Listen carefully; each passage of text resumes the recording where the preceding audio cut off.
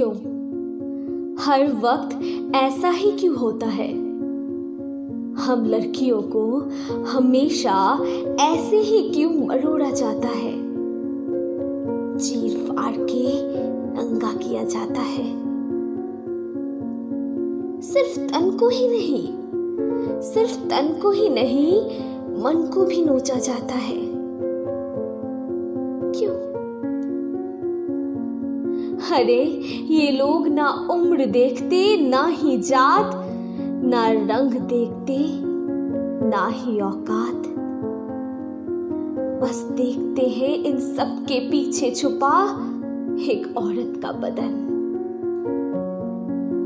फिर क्यों दोष लड़कियों को ही दिया जाता है?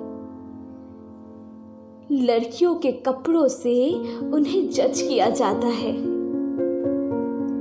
छोटे कपड़े पहने तो उन्हें चरित्रहीन का टैग लगा दिया जाता है। क्यों?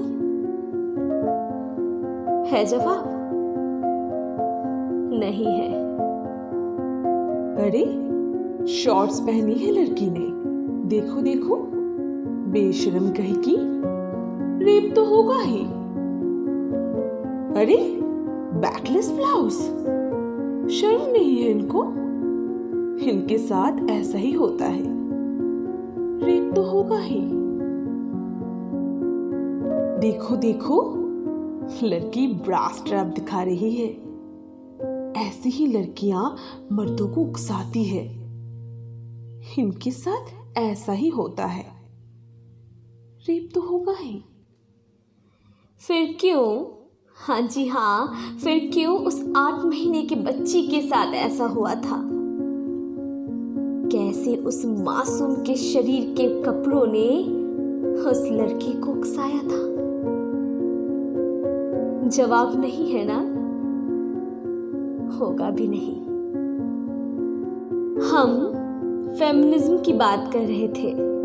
हम नारीवाद की बात कर रहे थे। हम वुमेन एम्पावरमेंट की बात कर रहे थे। पर अब ऐसा लगता है इज़्ज़त के साथ जीने का मौका मिल जाए, वही काफ़ी है। थोड़ा खुलकर सांस लेने का मौका मिल जाए, वही काफ़ी है। डर लगता है, बाहर निकलने से भी, और डर लगता है घर पे रहने से भी। अरे जाए तो जाए कहाँ? जानवरों जैसा सुलूक करे वो लोग।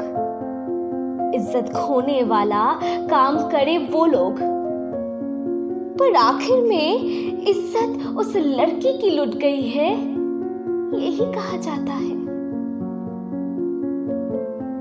हैवानियत दिखाए वो, पर हमेशा हम औरतों को ही कटघरे में खड़ा कर दिया जाता है।